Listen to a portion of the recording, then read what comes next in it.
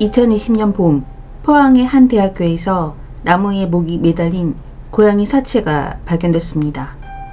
사건 현장은 많은 학생들이 볼 수 있는 기숙사 옆으로 지상 6m나 되는 높이에 걸려있던 사체의 모습은 누가 봐도 장난은 아니었습니다. 고양이 죽음의 현장은 기괴하면서도 끔찍해서 충격을 받은 학생들이 경찰에 신고를 했지만 경찰은 고양이를 그렇게 만든 범인을 잡지 못했습니다. 교내 곳곳에 있는 CCTV에서도 범인에 대한 단서는 발견되지 않았고 고양이 사체의 전시 행위는 캠퍼스 내에서 반복되고 있었습니다.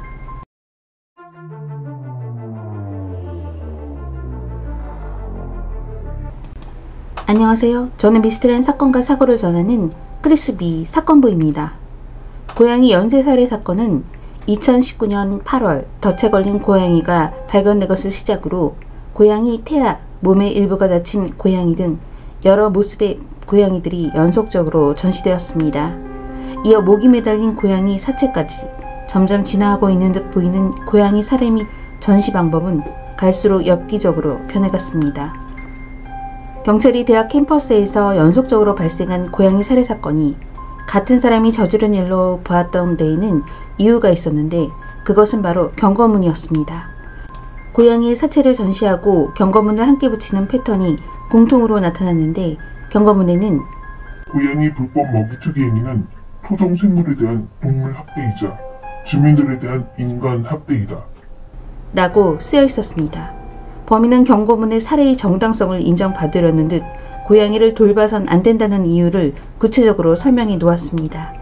그 글에는 범인이 나름대로 해석한 종교적, 법적, 수의학적 근거들이 빼곡했고 그 경고문은 범인의 시그니처였습니다. 그런데 그렇게 고양이를 살해하고 전시하고 경고하자 사람들과 언론의 관심이 높아지고 경찰의 수사도 느슨해질 조짐이 보이지 않자 범인은 돌연 범죄를 중단했습니다. 이후 사람들은 그가 자신이 전시한 대학교에 다니는 대학생이었던 그가 군에 입대했거나 다른 범죄를 저질러 수감 생활을 하게 되었다는 등 소문이 무성했습니다. 그렇게 잊혀졌던 연쇄살인범은 지난해 크리스마스 이브 다시 모습을 드러냈는데 잠적한 지 약 1년 9개월 만이었습니다. 이번에는 놀랍게도 단순히 목을 매단 것이 아니라 십자가에 고양이 양 앞발을 못 박은 형태였습니다. 심지어 사체에는 불에 그슬린 흔적도 있었고 이미 대학 캠퍼스를 벗어나 포항 시내 곳곳에서 그냥 전시하고 있던 그가 이번에는 십자가까지 사용한 것입니다. 범인은 범죄를 멈춘 것이 아니라 더욱더 기괴하고 엽기적인 방법으로 진화를 해서 세상에 다시 나타났습니다. 그런데 이번에도 꼬리를 밟히지 않을 것 같았던 그의 범죄의 꼬리 끝이 보이기 시작했습니다. 다시 범행을 시작한 지 약 6개월이 흐른 지난 6월이었습니다. 바로 한 초등학교 앞에서 또다시 고양이 사체를 전시하면서 CCTV도 피해가며 교묘하게 범죄를 저지르던 그의 모습이 우연히 주차된 차량 블랙박스에 녹화되었습니다. 경찰은 탐문 및 잠복 수사 끝에 사건 발생 8일 만에 범인을 체포했다고 했는데 용의자는 31살의 남성 김두표였습니다. 김두표는 검거 당시 각종 범행 도구와 구체적 범행 내역과 이유, 경찰 수사를 피해가는 방법까지 적힌 일명 데스노트를 가지고 있었지만 수사 과정에서 계속 침묵을 지켰습니다. 전문가들은 이번 김두표 사건에 주목할 필요가 있다고 지적했습니다. 그의 범행은 다른 동물학대 사건과는 질적으로 다른 이유가 보통 충동적이고 우발적으로 발생하는 일반적인 동물학대 사건들과는 달리 그의 범행에서는 치밀한 계획성과 목적성이 있었습니다. 범죄 심리학자들은 김두표가 살해한 것은 동물이지만 그의 범죄 행위와 분노는 명백히 사람들을 향해 있다고 분석했습니다. 실제로 동물 학대가 사람을 상대로 하는 강력 범죄로 이어진 사례들이 존재했는데 범인 김두표도 그의 영상을 보고 참고를 했다는 미국의 루카 메그노타였습니다. 루카 메그노타는 2012년 여자 친구를 죽이고 그 과정에서 시신을 토막내는 장면을 공개하며 네크로필리아 사이코패스 성향을 보였습니다. 그 역시 사람을 죽이기 이전에 고양이를 수시로 죽이는 영상을 올렸고 경찰에는 제대로 된 처벌을 받지 않았기 때문에 불행한 결과를 가져왔습니다.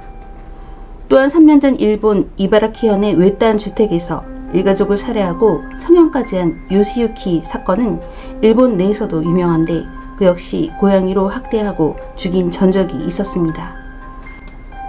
국내에서도 연쇄살인범 유영철, 강호순, 정남규도 연쇄살인을 저지르기 전 동물을 살해했다는 사실이 경찰 조사 과정에서 드러났습니다. 전문가들은 이런 사례들로 동물 학대가 강력 범죄의 징조가 되는 경우가 있을 수 있다고 입을 모아 말했습니다. 그것이 알고 싶다에서는 다른 고양이 연쇄살해범들도 추적하던 중 동물학대 경험이 있다는 제보자를 만날 수 있었습니다. 그는 동물학대가 얼마나 끔찍한 결과로 이어질 수 있는지 자신의 이야기를 통해 사람들에게 경고의 메시지를 전하고 싶다고 했습니다. 그는 가족과 같은 개와 고양이를 차례로 학대하고 죽였고 똑같은 방식으로 생후 7개월 된 자기 딸을 죽였다고 고백했습니다. 그는 제작진에게 형을 살고 나와서 자신의 딸을 죽였던 부분에 대해 후회한다고 말했지만 얼굴이 흐릿하게 가려지고 변조된 음성으로 자신이 저지른 사건을 담담하게 말하는 그의 이야기를 들으니 소름이 끼쳤습니다. 그 아래 이번 방송은 8년 전 길고양이에 간택되어서 집사로서 고양이를 사랑하는 저로서는 상당히 보기 힘들었습니다. 전문가는 동물에게 학대와 살해를 하던 사람은 살인범이 될 확률이 높다고 합니다. 그런 통계를 떠나서 우리의 곁에 있는 고양이나 강아지는 사람이 해코지를 하지 않으면 맞서지 않습니다. 오히려 먹이를 주고 예뻐해주면 사람을 따라갑니다. 그것이 자신을 죽이려는 사람일지라도. 여러분의 생각이 궁금합니다. 저는 크리스비 사건부였습니다. 시청해주셔서 감사합니다.